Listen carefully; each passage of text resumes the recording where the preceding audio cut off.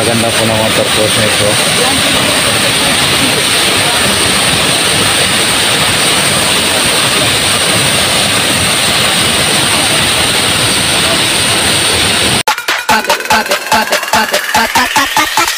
Holy moly, moly, moly.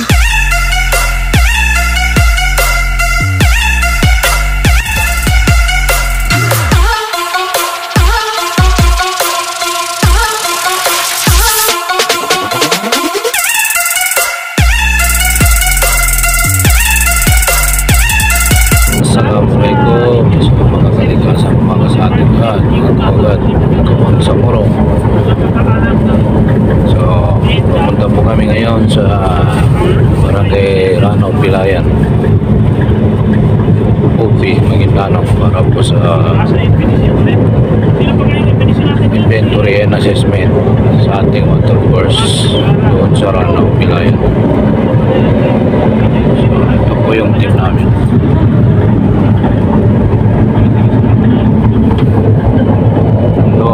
doon ang Poging Foresta Sipin na DOS sa Talikam. crossing awang Maguindanao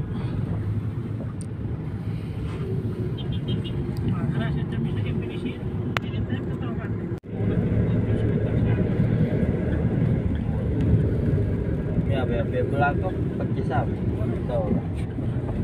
po yung round ball ng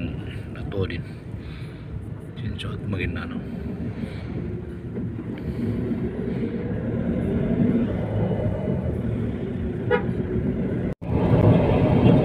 Hindi ka magsawang balik-balikan. Tingnan ang I love those.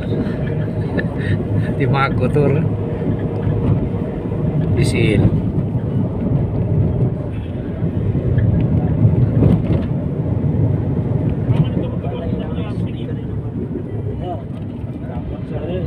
dito po yung pinupuntahan ng mga kabataan natin at saka mga galos karamihan ng tao sa awang at saka tabato para mag-conduct ng jogging walking biking.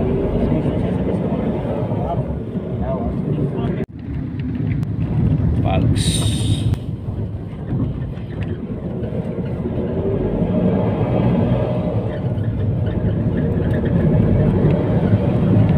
So isang magandang tanghali po sa lahat. Mga kabang sa muro kaugat at saka sa tropang hello guys. Dito na po kami sa daanan papunta ng Rano Pilayan Falls Waterfalls yan ang poging kasama namin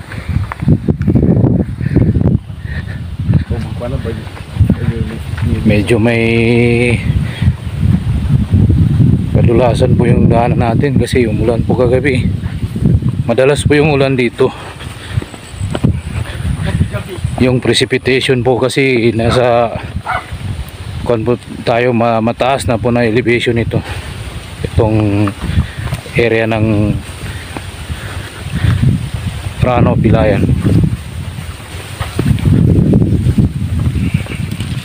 So yan po. Daan-daan lang po tayo.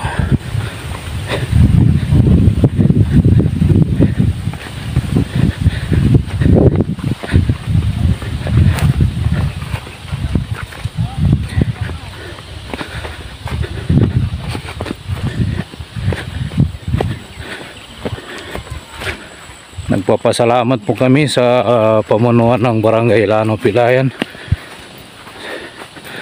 So meron pong barangay kagawa dito na kasama namin. Siya na po mismo ang sumama sa amin. Ini-enjoy lang po namin ang paglalakad para hindi maramdaman yung pagod.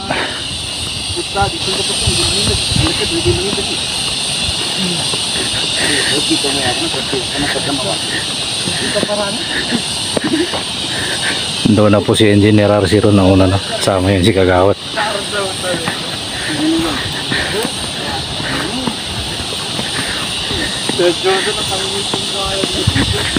Albanan!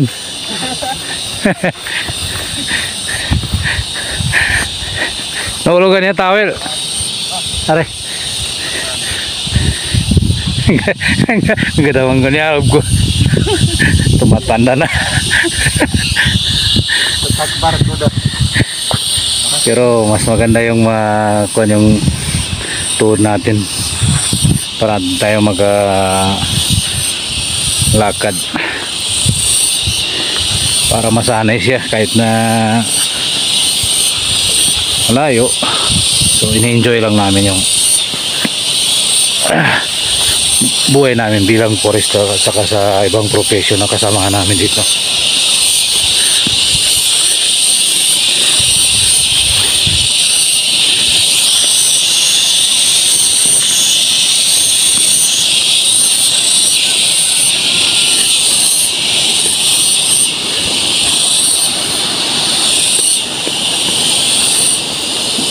Yan ang daanan.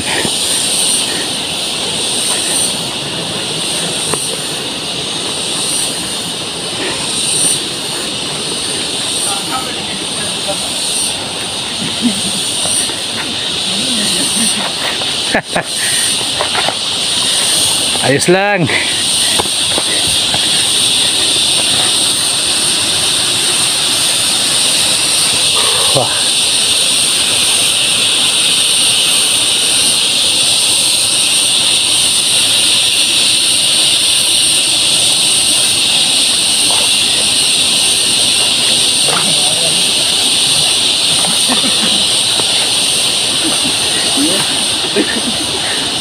get it.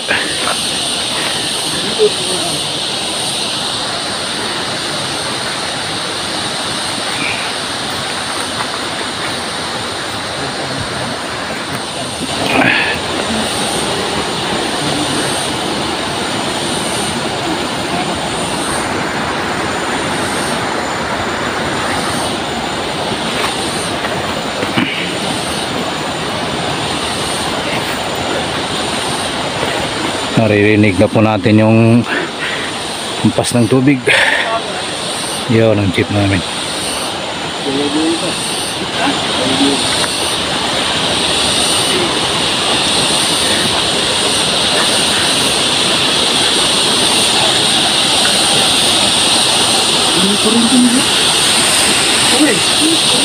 ayan po yung daanan niya oh.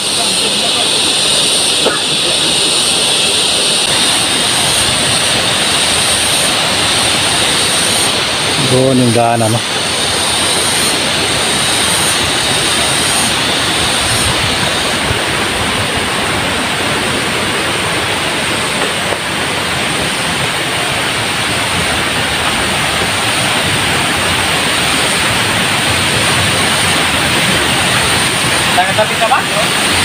Dala.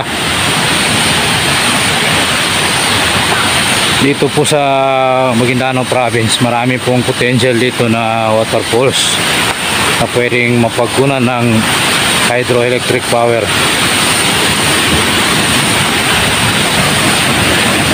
Yan ang mga tropa namin. Oh.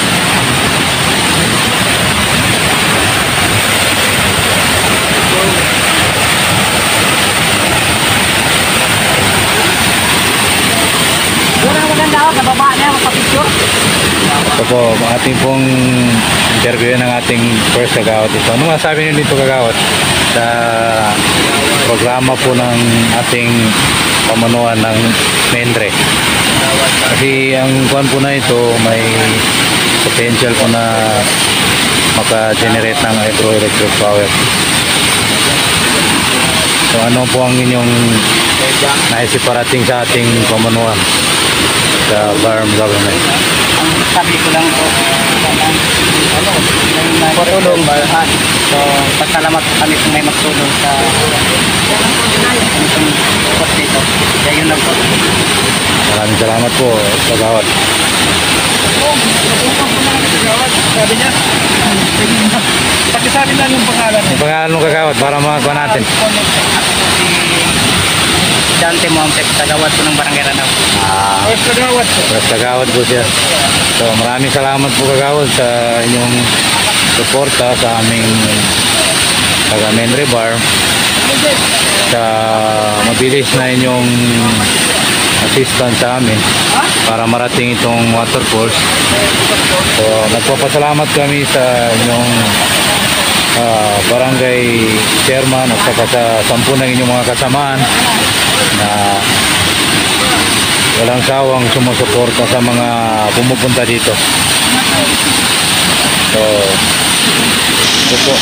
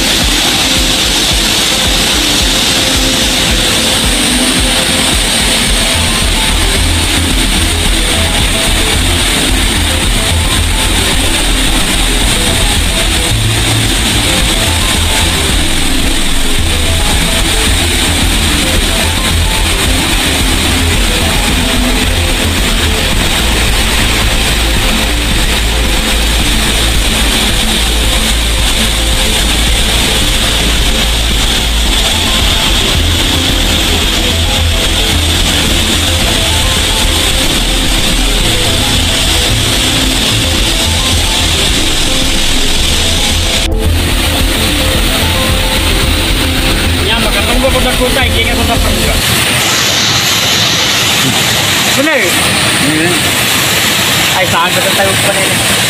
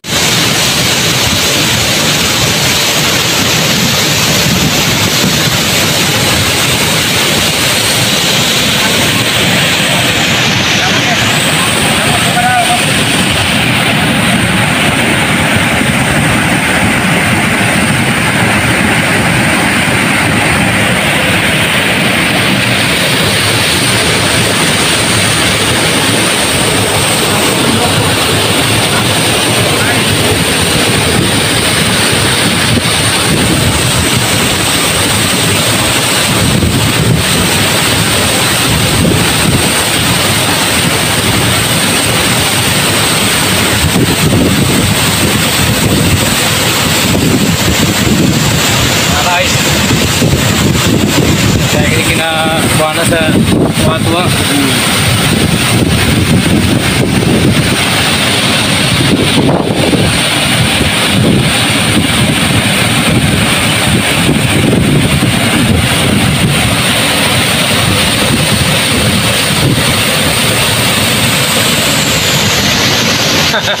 Driver. Nang idol namin dito, si First Kagawad. Ano yung pangalan mo Kagawad?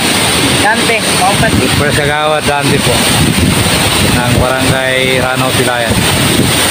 Upi Maguindanao. So, nagpapasalamat po tayo sa mga residente dito na pinapaigting nila yung kampanya laban sa illegal logging saka sa Republic Act 9147 na Wildlife Act of 2001 yung illegal poaching ng flora and fauna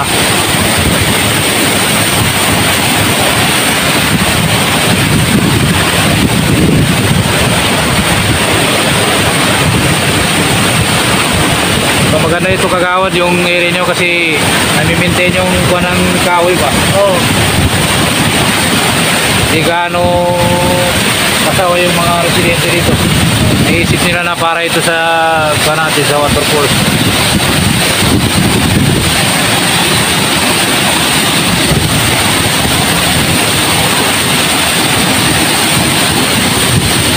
Doon ang mga kasama namin.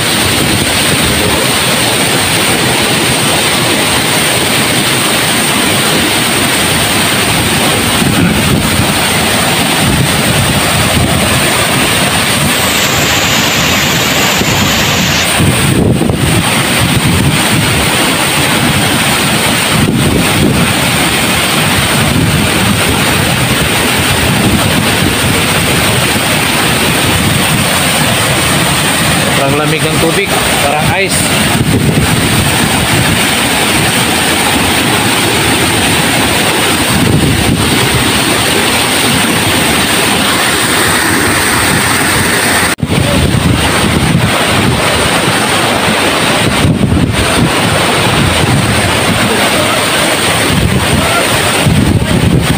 Igo na lang kami para condition mamaya. Pag-uwi.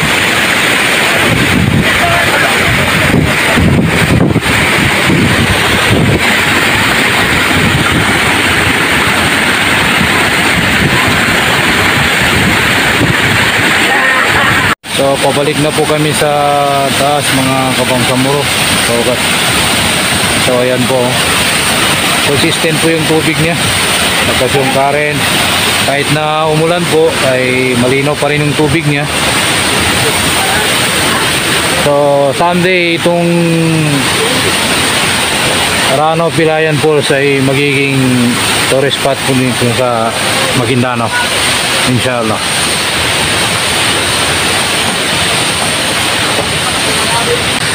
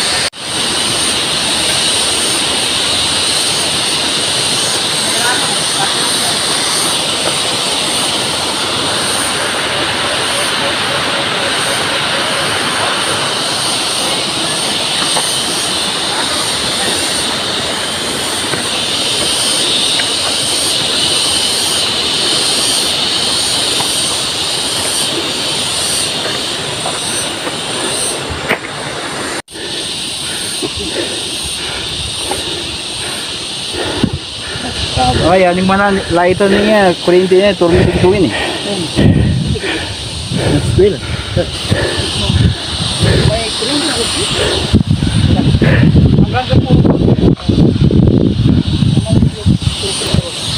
Ginamit ko lang ito. Yan naman lagi na.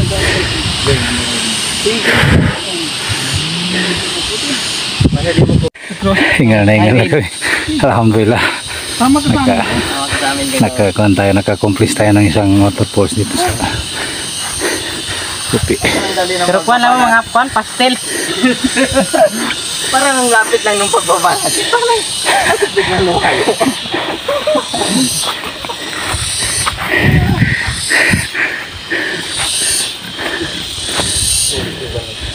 Doon na yung darat.